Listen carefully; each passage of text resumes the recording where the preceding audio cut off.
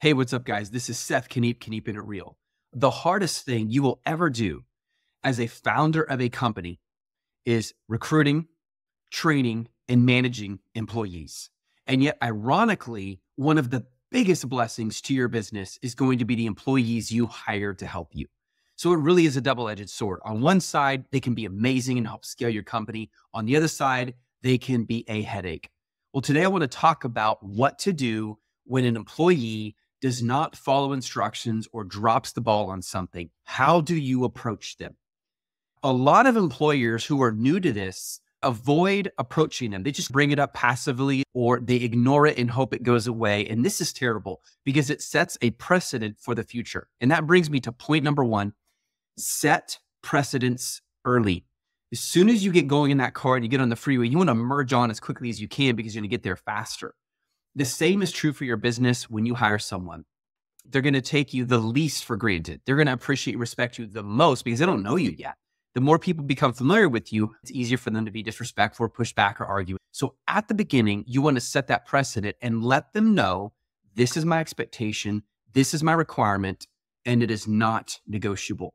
I want to tell you a quick story, something that happened to me literally today that illustrates this. One of my clients is a coffee shop with multiple locations in Austin, one of Get Better clients, clients, a company that I started. Our job is to build out the entire marketing and sales funnel for this company so they can get more wholesale coffee and more mobile coffee services to events like ACL in South by Southwest. Now, I have been given a salesperson who previously worked in operations, and his job full time is to work under me as I work with him to build out the sales program. The problem is he has been pulled into multiple shop locations to help on many occasions. So I went back to the owner and I said, Look, we need him full time. And he said, No problem. He's yours full time. However, this morning, he was supposed to be working on sales. But when I walked into the coffee shop, he was behind the counter helping people. Now, his heart intention is good. He wants to help the other staff. And because he knows so much, a lot of the staff depend on him for information that they would not have access to otherwise. The problem with this is it creates a massive challenge for me because my goal, having been hired by this coffee shop, is to set up the sales system so it can run and they no longer need us and they make a lot of money. That's the goal. However, to do that, I need this guy's full time commitment. So after we sat down for a meeting time, I said, I have a question for you. I saw you behind the bar today. Can I count on you to be full time in sales? And he started explaining to me why he was working behind the bar helping people with coffee. I said, I get that. But for me to do this, I have to know that you are going to be full time in sales. Otherwise, it won't work. He said, It sounds like you're making an ultimatum. I said, You're right. I am making an ultimatum. Will you do this full time? Can I depend on you?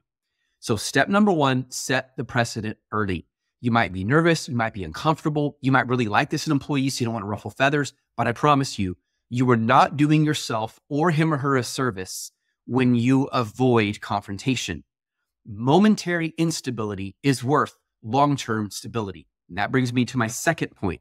Not only do you need to set the precedent early, but do not get emotional. If you tend to be a more emotional person or you operate by feeling and intuition, there's nothing wrong with that. That's actually a gift and you can use that.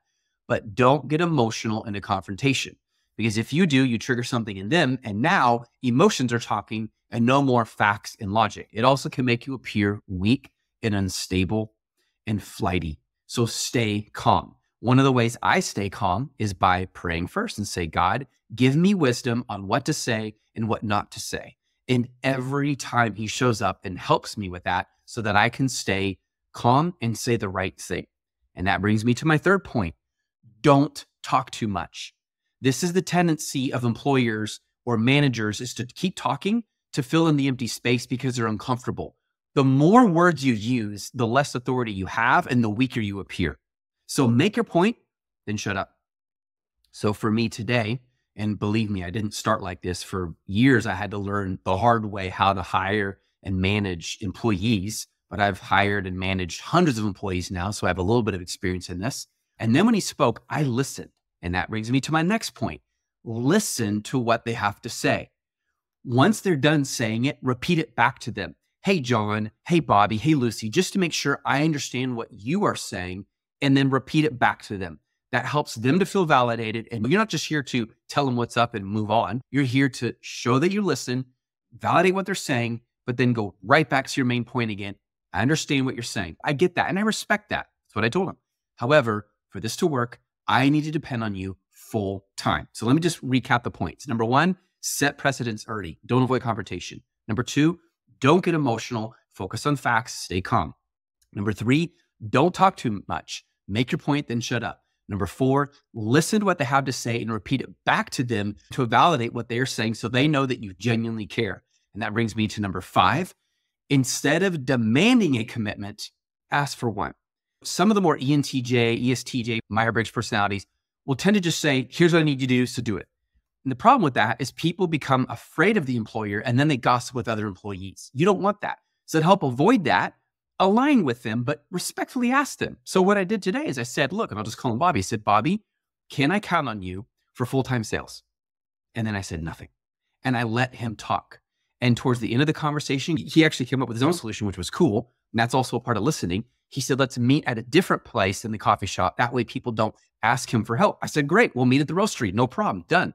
But then again, I repeated, can I count on you to do full time sales? Notice I'm asking him to make a commitment. What that does is it inspires your employee. Now they feel challenged to rise to the challenge. Instead of me saying, I need to count on you, so be full time, I said, can I? I'm putting the ball in their court. You have to say yes or no. If he says no, then this isn't going to work.